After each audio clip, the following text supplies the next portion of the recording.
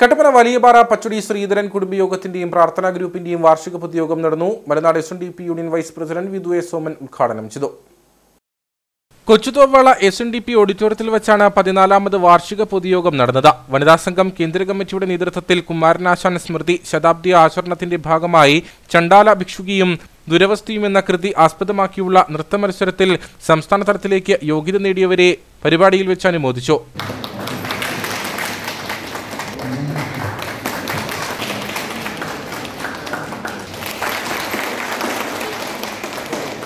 Malanad S N D P union vice president Vidhu S Oman വാർഷിക യോഗം ഉദ്ഘാടനം ചെയ്തു.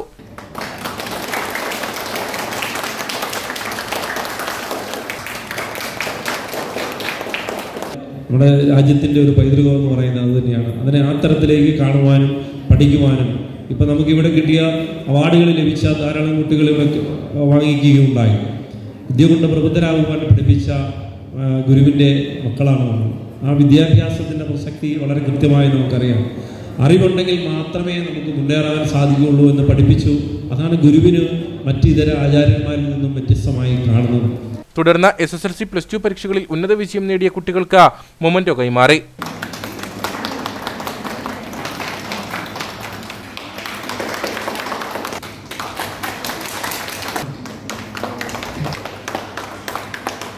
ശാഖായോഗം പ്രസിഡന്റ് സന്തോഷ് പാതയിൽ അധ്യക്ഷനായിരുന്നു. ക്ഷേത്രം തന്ത്രി സുരേഷ് ശ്രീധരൻ തന്ത്രികൾ അനുഗ്രഹ പ്രഭാഷണം നടത്തി. ശാഖായോഗം സെക്രട്ടറി അഖിൽ കൃഷ്ണൻകുട്ടി മുഖ്യപ്രഭാഷണം നടത്തി.